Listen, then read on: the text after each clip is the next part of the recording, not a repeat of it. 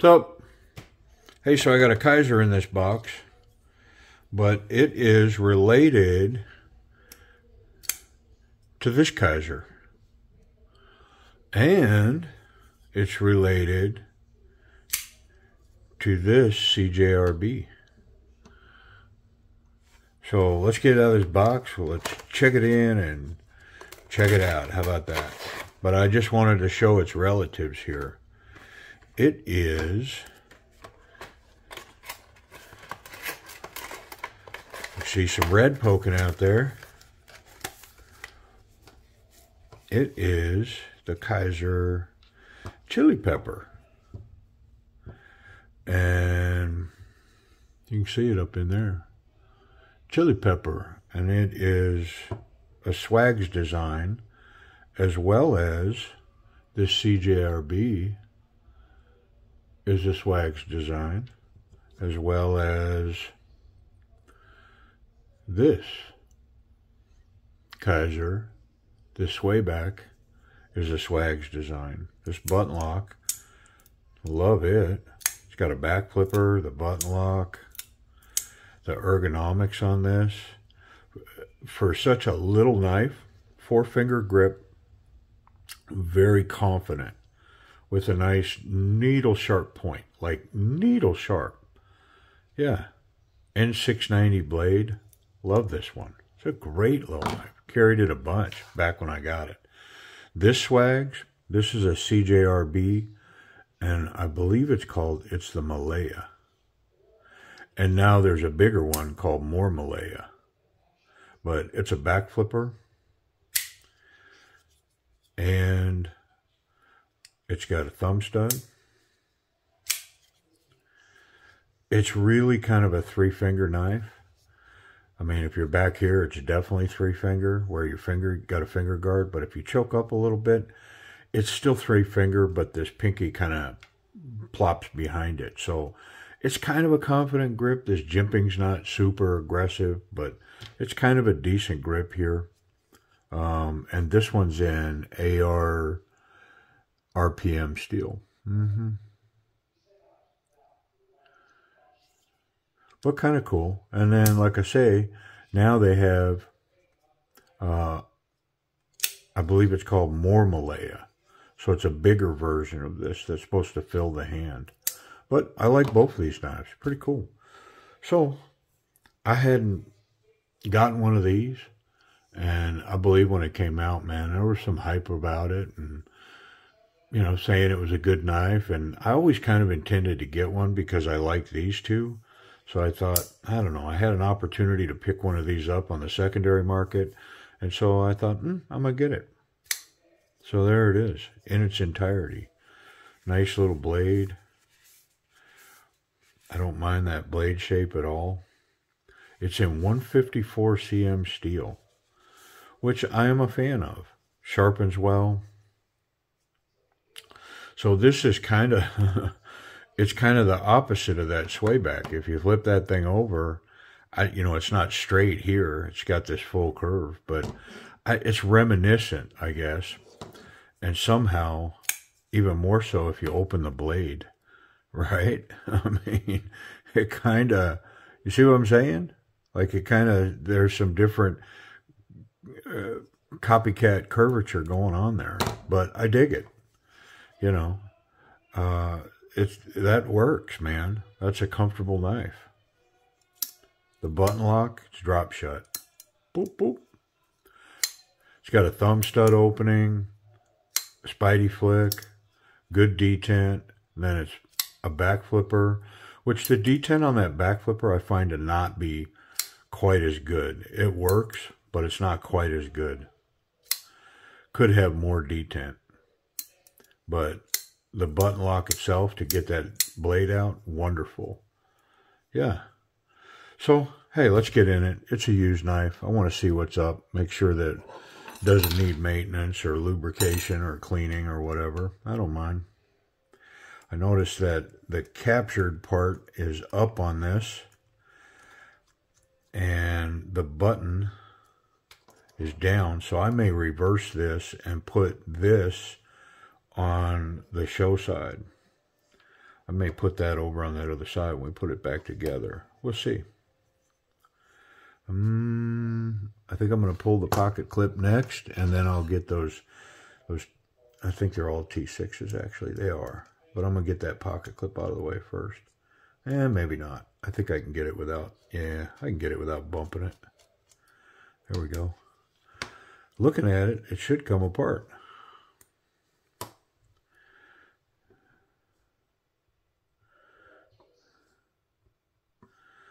Mm, not going to be that simple, is it? I do believe that that pivot screws in there backwards. That's, that's part of it. But uh, let's just pull some screws, man. I'm pretty sure that when you're in this spot, if you just start taking screws out, eventually things come apart. Those two are the same.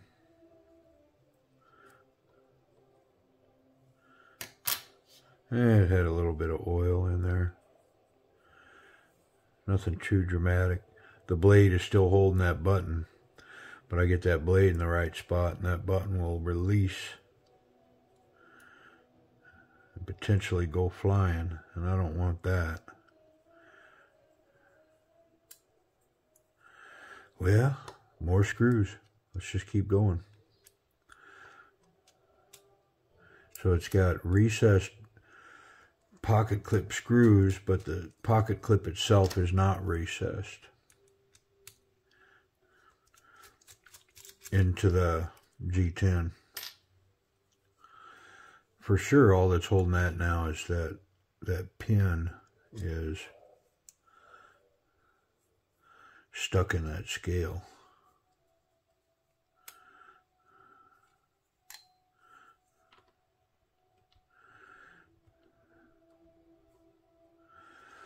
Hmm.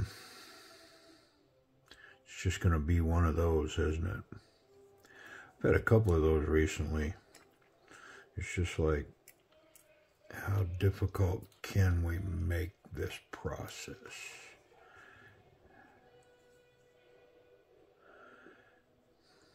Yeah, it's just, and it makes me wonder if there's not some Loctite on there or something that's causing that to hold on. But that pivot pin is most definitely, to me, backwards, which, I don't know, makes me think the knife's been apart.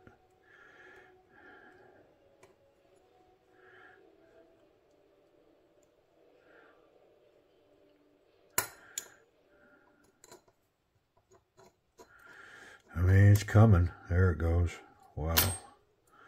Ooh.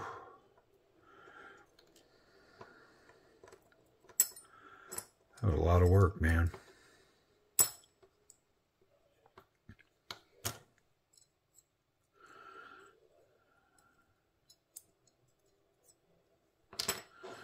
Okay. One bearing. Two bearing. There we go. So they did relieve the uh, the black coating they did relieve it from this G10's nice. I like it. From where the bearings run. So that's a good feature. It's not awful dirty in here.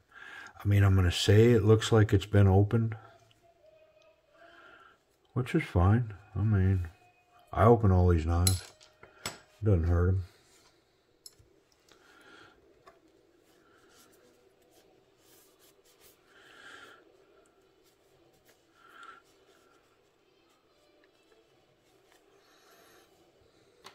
Yeah, so they did they did uh, polish the uh, coating off of the scales where the bearings run. So that's a pretty nice feature. It's just a little thing, but it definitely is going to help these bearings run versus having to cut a path through that black coating. So, I mean, it just means somebody's paying attention.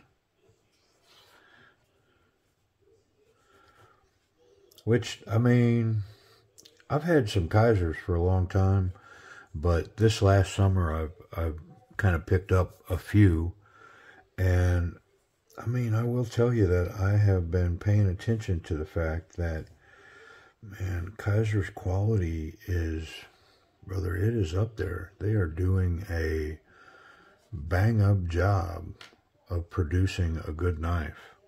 I am going to put a little bit of tension on this screw. And the way I'm going to do it is I'm going to try to measure how long that screw is so I, I get a bearing on how much I want to put on it.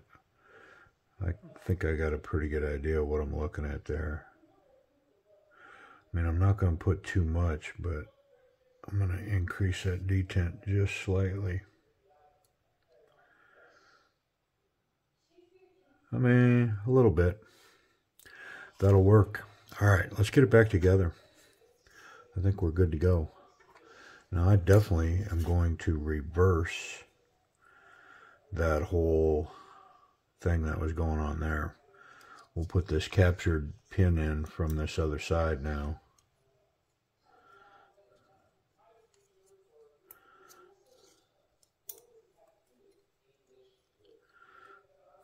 Uh, maybe this is why it wasn't that way. Because it's not wanting to cooperate in this particular scale. Hmm. Yeah.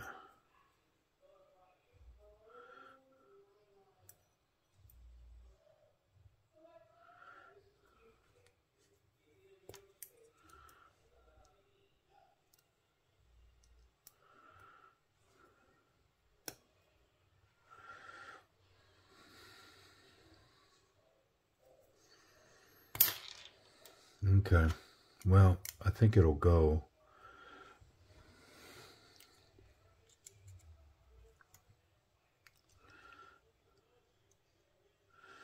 Where's the captured part?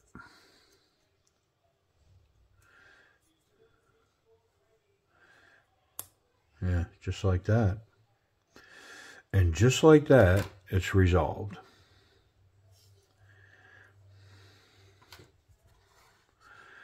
Let me make sure where that captured part is. Yeah, it's facing that way. Okay. I'm going to take this pin and put it in place.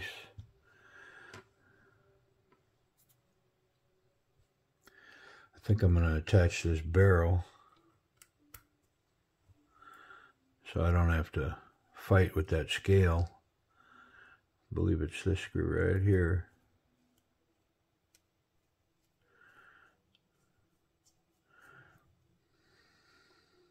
Yep. Okay. Parts and pieces, man. There's one.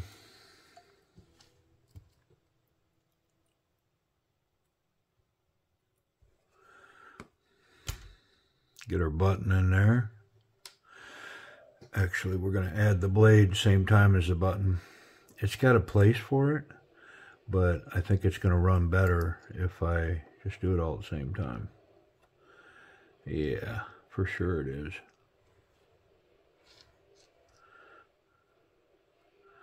Oop, getting a hole. There we go.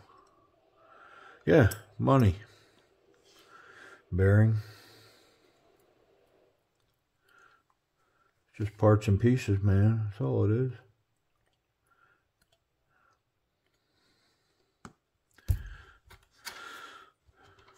Okay.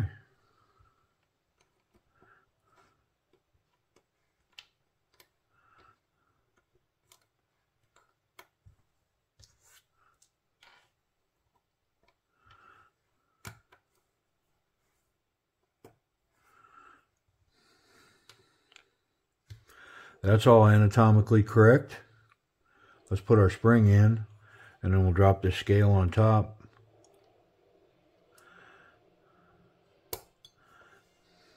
Mm-hmm. Pretty simple.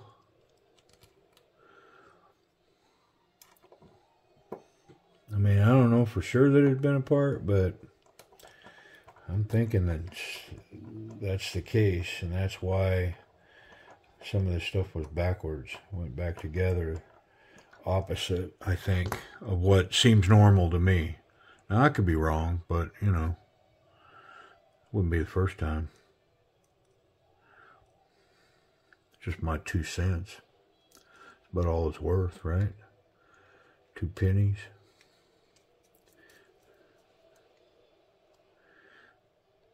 Okay.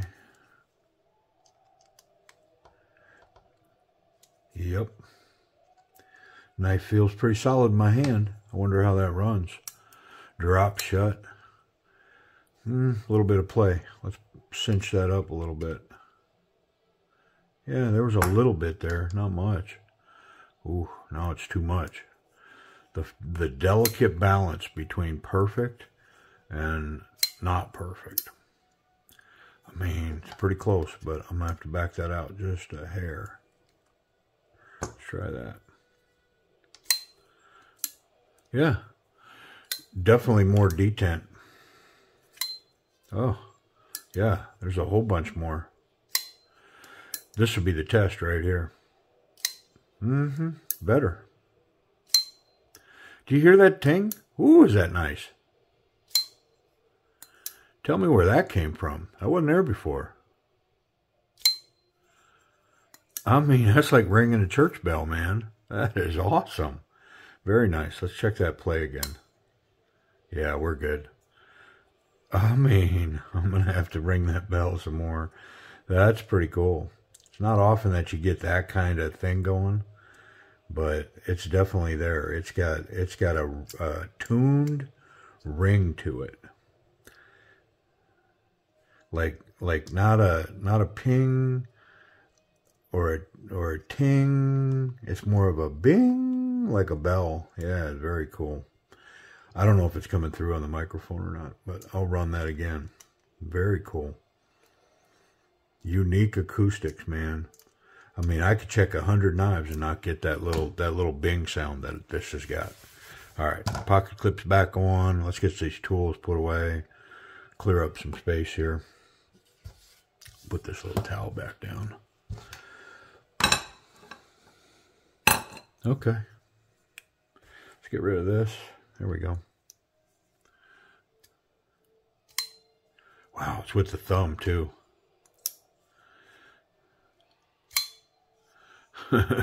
Man, very nice.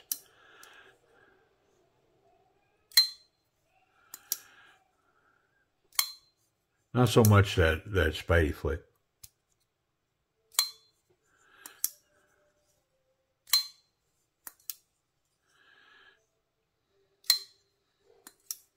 So definitely, let's make sure drop shut. Yeah, 100%. No blade play. This thing's awesome. Yeah, the action, I mean, it's it's a great button lock. It is. It's running very well. It's 154 in blade steel. Let's talk about that ergonomics again. So, I, I mean, it's just super comfortable in the hand. The pocket clip has disappeared up in this space here. I I mean, almost don't notice it. If I if you gave me this grip and I had to guess, is there a pocket clip on this knife or not? I don't know if I could if I could get it right. Yeah. Um. It's all four fingers. It's a solid grip. I I can't call it confident just because.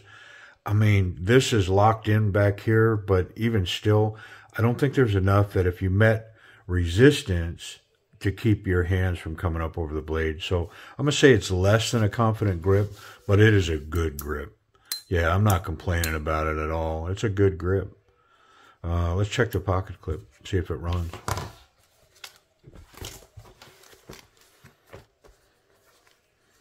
Big thick material, if it'll get over it, of course it's going to run, and it does.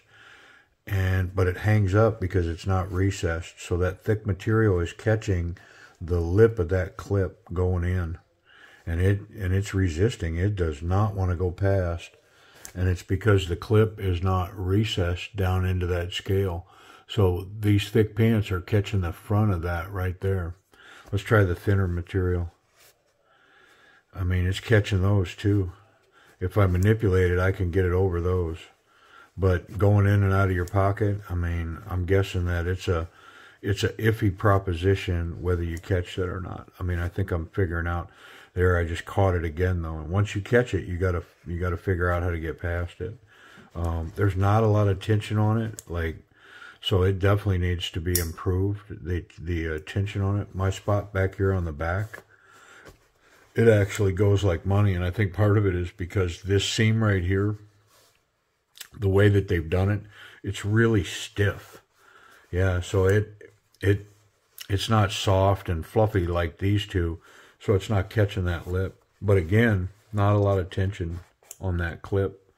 Um, I'm actually going to fix it right now just to see if I can make that hold on enough to make it good, especially in standard pants right here.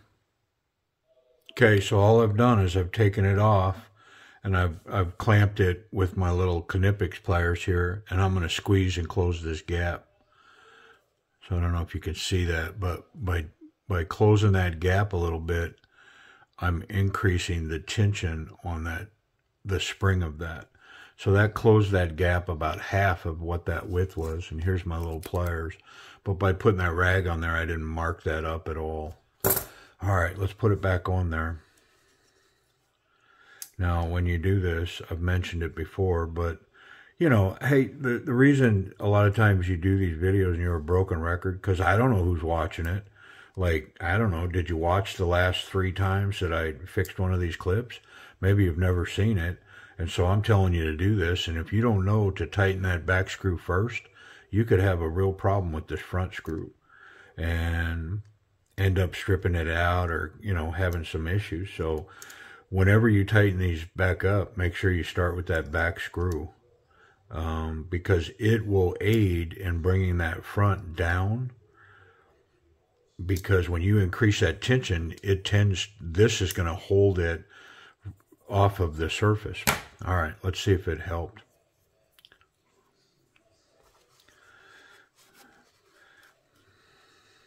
I mean, it's probably going to cause it to hang up more. I mean, it's better. Yeah, it's definitely better because I was able, it was just coming out when I did this before. So it's definitely gripping better. And now it's hanging up back here a little bit. But yeah, that not, I mean, it's definitely gripping better, but that not recessed design and then it being so flush, the design of it, the space in that pocket clip, there's no way it's not going to catch on that front lip. So this would have been a great pocket clip if they'd have just recessed it into that scale a little bit.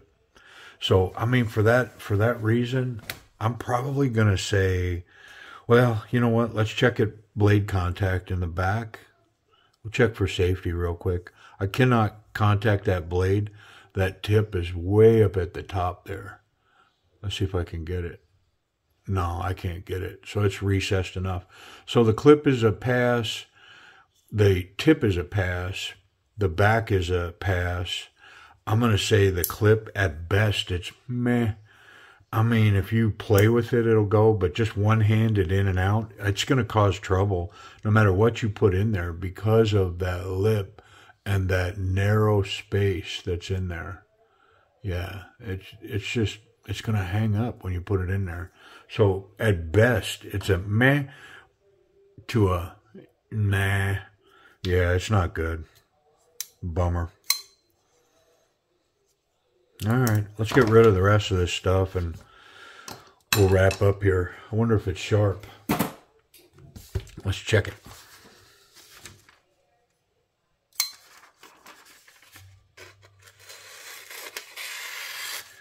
Yeah.